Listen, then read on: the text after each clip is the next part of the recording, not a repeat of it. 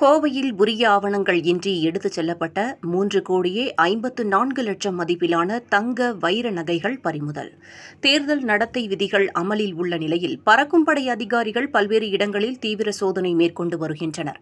இதன் ஒரு பகுதியாக கோவை சிங்காநல்லூர் தொகுதிக்கு உட்பட்ட பெர்க்ஸ் பள்ளி அருகே பறக்கும் படை அதிகாரி மணிமேகலை தலைமையிலான அதிகாரிகள் சோதனையில் ஈடுபட்டனர்.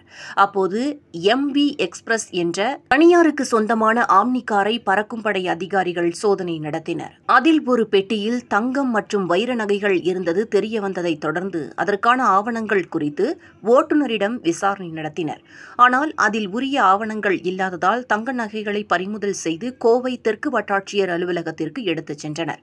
பறிமுதல் செய்யப்பட்ட தங்க நகைகள் சுமார் ஐந்தரை கிலோ இருக்கும் எனவும் சுமார் மூன்று புள்ளி ஐந்து நான்கு கோடி ரூபாய் மதிப்பு எனவும் இந்த தங்கம் மற்றும் வைர நகைகள் விமானம் மூலம் மும்பைக்கு எடுத்துச் செல்ல கொண்டு வந்துள்ளதாக விசாரணையில் ஓட்டுநர் கூறியதாக பறக்கும் படை அதிகாரிகள் தெரிவித்துள்ளனர். மேலும் பறிமுதல் செய்யப்பட்ட தங்க நகைகள் மாவட்ட கருவூலத்தில் ஒப்படைக்கப்பட உள்ளது எனவும் உரிய ஆவணங்களை காண்பித்து நகைகளை பெற்றுக்கொள்ளலாம் எனவும் அதிகாரிகள் தெரிவித்துள்ளனர். இன்னைக்கு காலையில் ஏழரை மணி அளவுக்கு பக்ஸ் ஸ்கூல் ஜங்ஷன் கிட்ட பறக்கும் படை பிரிவினர் வந்து சோ வாகன சோதனையில் ஈடுபட்டு இருக்கும்போது ஒரு வண்டியில் நகைகளை வந்து ஏர்போர்ட் அடிச்சு போகிறதா சொல்லியிருந்தாங்க.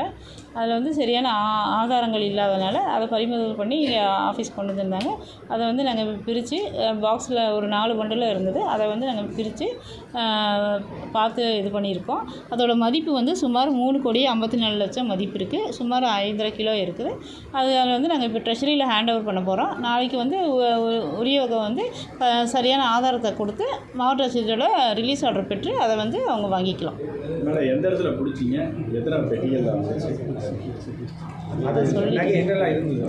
நகை நகையில் வந்து தங்கம் மற்றும் வைர நகைகள். நகையாக தான் இருந்தது. அது வந்து செயின் டாலரு கம்மல் மோதிரம் இந்த மாதிரிகளும் இருந்தது. கொண்டு தெரிவிச்சிருக்காங்க மேடம்?